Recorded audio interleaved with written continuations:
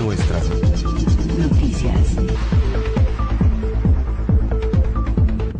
Conductores que transitan por la carretera federal Villahermosa Frontera denunciaron las malas condiciones del tramo que comprende de Miramar a Carrillo Puerto, donde hay una infinidad de baches que en su momento pueden provocar accidentes de condiciones lamentables y que incluso ya se tienen conocimiento que han habido algunos percances en donde solamente ha habido pérdidas materiales. Cabe hacer mención que en su oportunidad en un recorrido realizado por el tramo de Miramar hacia Carrillo se pudo observar cómo hay muchos baches en lo que son parte de la carretera carretera Villahermosa a frontera, lo cual provoca a veces que los vehículos puedan perder el control cuando van transitando, sobre todo porque esta carretera se toma a muy alta velocidad por parte de los conductores. Por tal motivo, se hizo el llamado a las autoridades de la SCT Delegación Tabasco para que hagan algo al respecto, principalmente porque ahora que ya cuentan con un nuevo delegado en la persona de Sergio Herrera Concha, se espera que las actividades de resarcimiento de tramos carreteros se puedan iniciar lo más antes posible.